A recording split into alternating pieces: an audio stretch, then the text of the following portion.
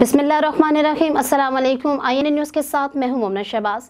Headlines आपने जानी, मजीद बढ़ते हैं खबरों की तफसीलात की तरफ़। सरकारी स्कीम के तहत हज की अदायगी के लिए मुंतखब होने वाले खुशकिस्मत आजमीन हज को मनास के हज की तरबियत के सिलसिले में डायरेक्टोरेट ऑफ़ हज के जेर तमाम गुजावाला और सियालकोट में तरबती प्रोग्रामों का इनका किया गया।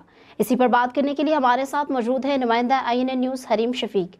जी हरीम, तफसीलात से आगाह करें।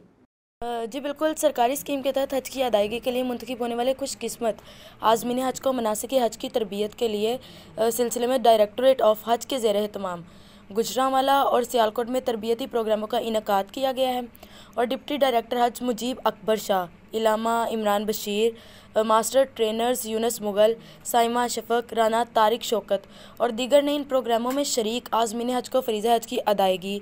खाना कबा और बारगह रिसालत के आदाब और दीगर अहम अमूर के हवाले से तफसीली मालूम और तरबियत फ़राम करते हुए इन्हें मुबारकबाद पेश की है कि वो अल्लाह और इसके महबूब करीम सल्ला वसलम के मेहमान की हैसियत में अहम तरीन फरीज़े की अदायगी करने जा रहे हैं और उन्होंने कहा है कि इस मुकदस सफ़र और फरीज़े की बेहतरीन अदायगी के लिए मुकम्मल मालूम और तरबियत का होना बेहद ज़रूरी है और इस अहमियत के पेश नज़र हज डायरेक्टरेट हर साल आज़मिन हज की तकरीब का अहतमाम करते हैं। और तर, तरबियती प्रोग्रामों में डिप्टी डायरेक्टर हज मुजीब अकबर शाह और दीगर उलमा व मास्टर ट्रेनर्स ने शुरा को तमाम मनासिक हज की तरबियत फ्राहम की जिसको आज़मिन हज ने इंतहाई मुफीद करार देते हुए इन प्रोग्रामों के इनका पर हज डायरेक्टोरेट का शुक्रिया भी अदा किया है। जी। बहुत शुक्रिया हरीम शफीक हमें तफसीत से आगाह करने का।